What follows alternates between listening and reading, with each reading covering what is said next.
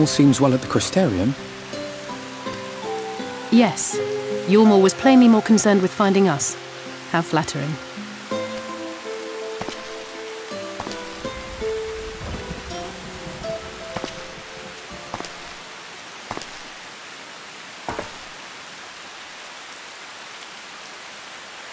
You certainly took your time. I had half resolved to complete the task myself.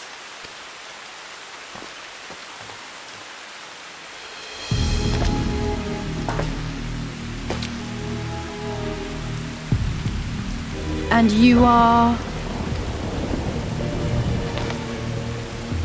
Were one to study the annals of Garlean history, one would find yonder visage on many a page. Though by rights its youth should long since have faded. Well, well, we have a historian in our midst. That spares me a lengthy explanation. I am Solus zos founding father of the Garlean Empire, and under various guises, the architect of myriad other imperially inclined nations. As for my true identity,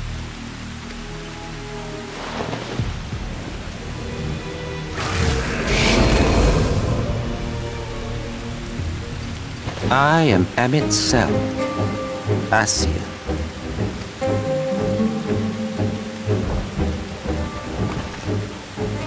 Gaius spoke of you. A native of the Source. Equal in rank to Lahabrea. And you came all this way just to introduce yourself to us? Behold the sky, restored to its former glory. Have you ever seen a more affecting spectacle? Oh, it is truly, deeply infuriating. Do you have any idea how much you have delayed the rejoining?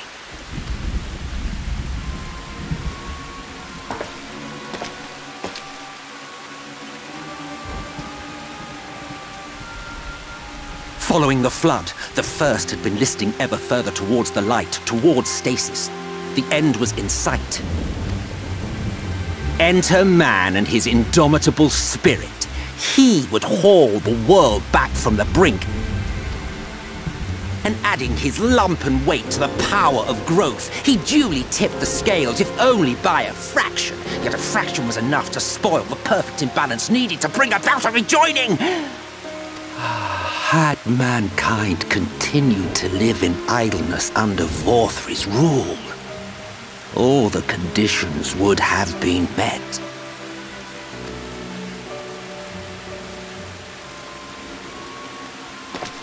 But you had to come and ruin it all.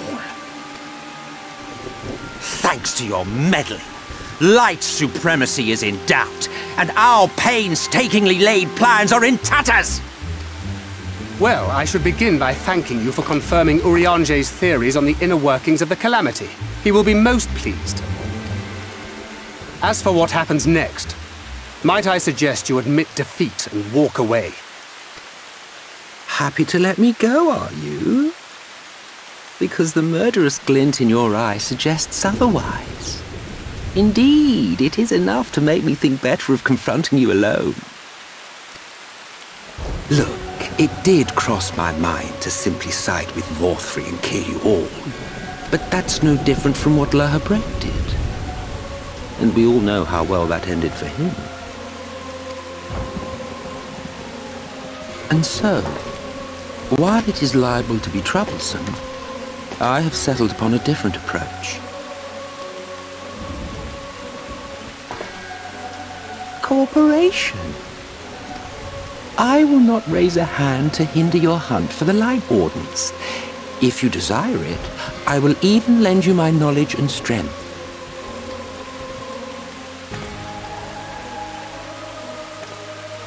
Since time immemorial, you and yours have labored to rejoin the Thirteen Shards, at the cost of countless lives.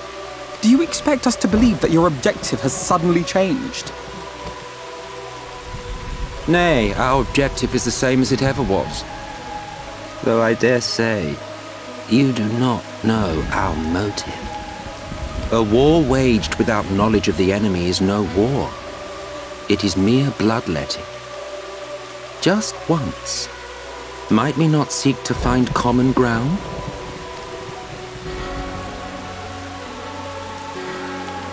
For good or ill, I am immortal.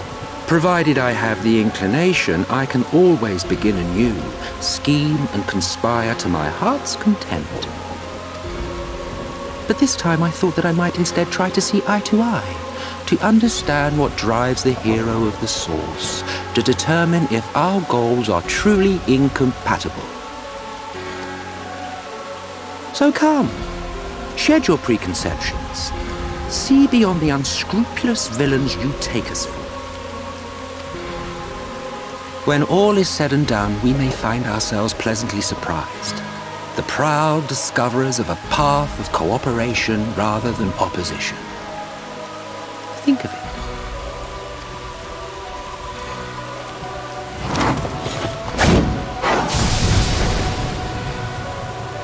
Thou hast delivered thy proposal, and we would not dismiss it outright. If I may offer thee counsel, however, to make thy case via an illusion reflecteth poorly upon thy sincerity. My apologies. You will forgive me if I'm not entirely at ease in the presence of a famed Ascian Slayer. I felt it only prudent to take precautions. Nonetheless, your counsel is duly noted. I take my leave, friends. Rest assured, we shall meet again soon.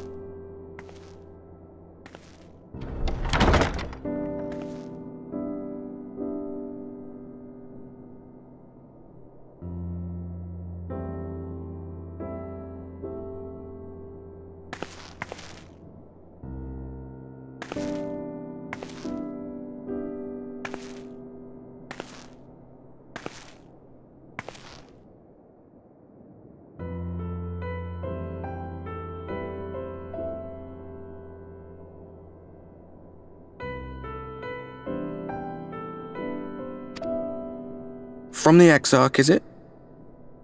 Uh, with that mirror of his, he can watch your every move, you know. He'll probably think you're talking to yourself. Still, he's keeping you well fed.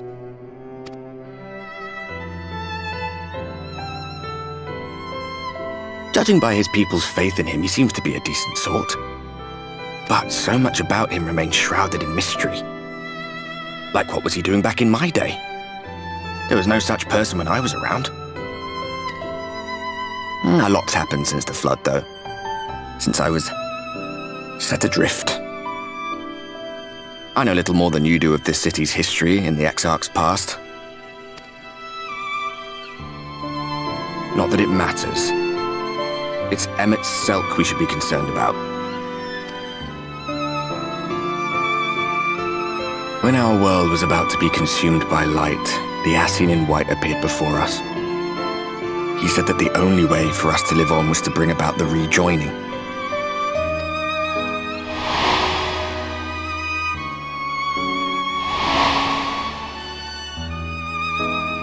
Desperate as we were, we heeded his words, not realizing that the flood was of the Ascian's own making.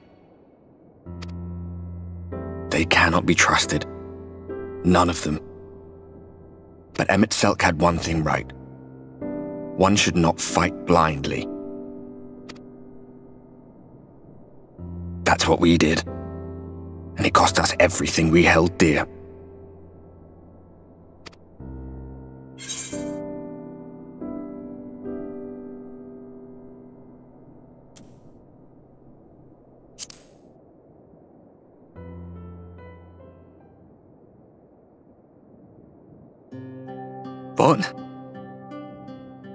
What about Seto? What is there to say? All right. He's done some growing. When we were traveling together, he was nowhere near as big. And he obviously couldn't speak.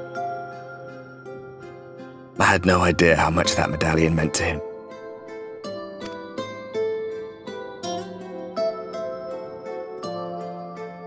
What about you, anyway? You must have a friend like Seto. Chocobo, perhaps? Come on, you tell me something for a change.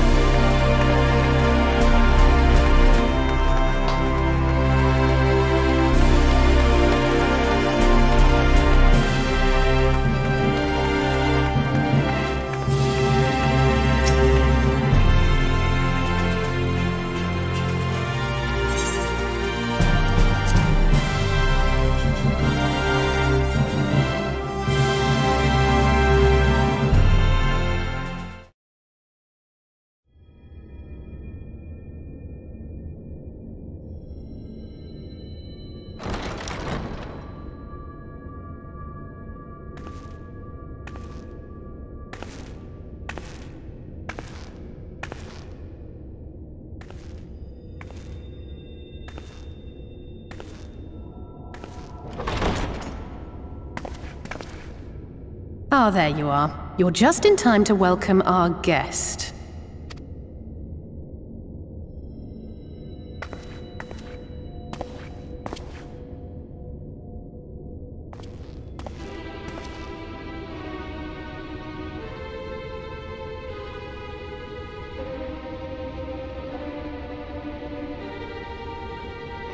Please. Did I not explicitly tell you that we would be meeting again soon?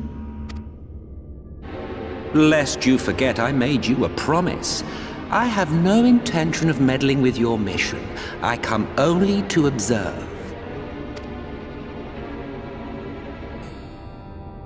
Your Exarch friend in particular has piqued my curiosity. Summoning you all like that. Most impressive.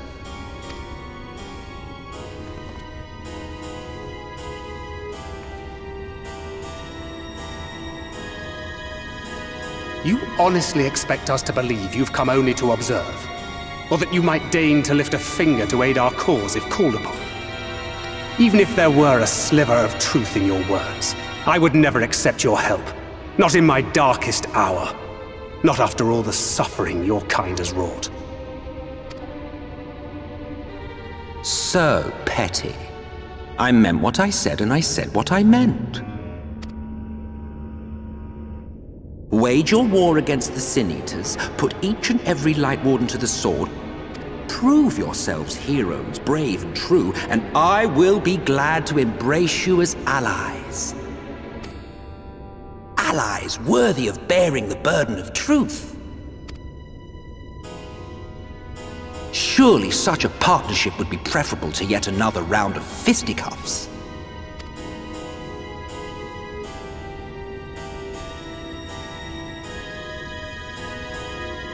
And thus did the olive branch wither and die. Pity. Well, let no man say I did not try, futile as it was.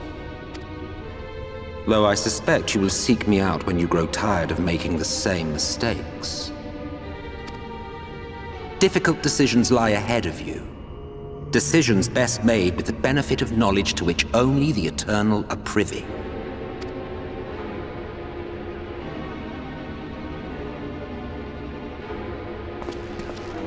For now, I shall resume my shadowy vigil. Whatever you choose to do, make sure it's worth watching, would you?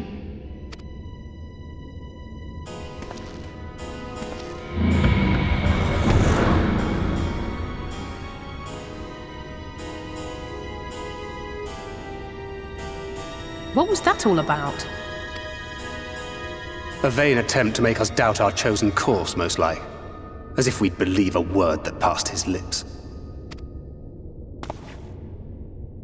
Unless you think there is some truth in what he says.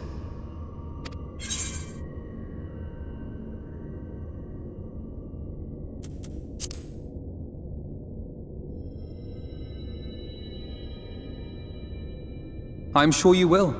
But consider for a moment. If he meant simply to lead us astray, he could have done so without revealing himself. At least, not in the manner he did.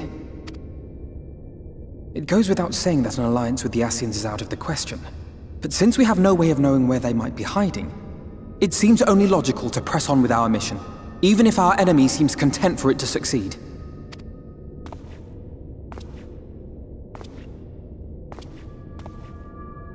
Then let us discuss the Sin Eaters. I would begin by thanking you all for your efforts thus far. In striking down the Light Wardens of Lakeland and Il Mheg, you have accomplished more in your short time here than all of our forces managed in the last century. That may be, but the Wardens of Kholusia, Armareng, and Rak'tika remain. Indeed, and their precise whereabouts are as yet unknown. Which is why I propose we divide our forces and conduct a systematic survey of each region. Once we have found our quarry, we may then determine how best to proceed. I'll take Amh Araeng in that case. I know the lie of the land well enough. If there are no objections, I will make for Kholusia. I have connections there both in and around Yulmore that may prove useful. Then I would ask that you journey to Rak'tika. There you will find Y'shtola. With her assistance, I doubt the Warden will evade your grasp for long. Is Y'shtola the conjurer you and Urianger used to talk about? That's right. Though we haven't spoken much since she left for the forest.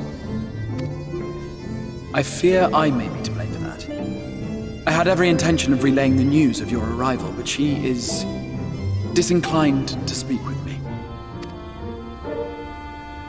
You have visited her, have you not? Might I trouble you to... Twould be no trouble. My thanks. While you are all out in the field, I shall be here attending to business. I had somewhat fancifully contemplated joining the search myself, but other matters demand my attention.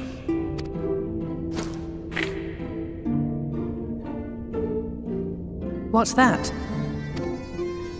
A missive from Lord Vauthry. He invites me to join him in Yulmore to discuss the recent conflict at Leda Loran. And? Did he even bother to offer any bait? It's obviously a trap. I should be surprised if it were not. Nevertheless, I must seize this opportunity to speak with him, even if only a few words are exchanged. Though my power will be much diminished so far from the tower, it is a risk I am willing to take. Master Alphinaud, might I impose upon you to accompany me to Yulmore prior to beginning your reconnaissance? Of course. Then let us make ready. Safe travels to you all.